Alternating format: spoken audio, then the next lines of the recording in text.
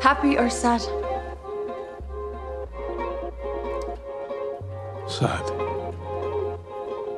Okay. But I warn you, I'll break your heart. Already broken.